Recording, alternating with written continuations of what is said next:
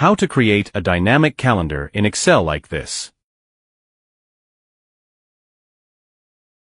First, let's create a reference that converts a date recognized by Excel using the date value function.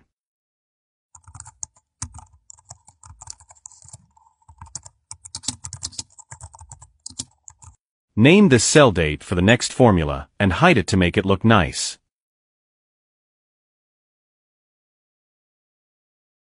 Type 3 semicolons to hide it. Next, use the following functions for the dates.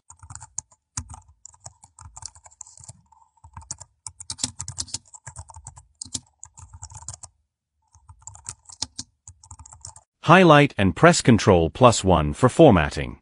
Choose Custom and type D to display the correct number format. Then, use conditional formatting to hide the dates of other months. Use this formula.